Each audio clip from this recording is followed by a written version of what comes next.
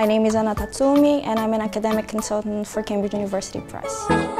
I first saw interchange literally last millennium. I started teaching in 1993, I guess. At that point, it was it was new interchange, so it was the second edition of interchange. This is a testament to the success of the series. A, a book doesn't come to this fifth edition for no reason. It's easy to work with interchange and it's easy to study with interchange the greatest thing about interchanges is the flow of the content. So it flows very naturally, very organically, it's very easy to use, and it's very clear so teachers see it. Uh, but I think the most important thing is that students see that too especially with the speaking activities. These are chunks of language and you, you don't have to work with a big chunk and the way the activity is presented in the book allows you to prepare your students and have them feel confident enough to do that activity, to actually speak in class.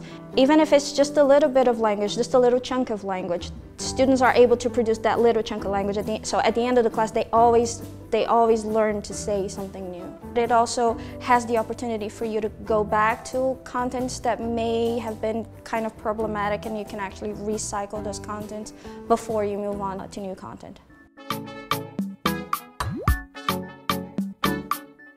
Who are the interchange experts. So I'd like to invite you to submit comments in the section, to bring your ideas, let's share ideas, let's share experiences. I think you guys are the best people to do that.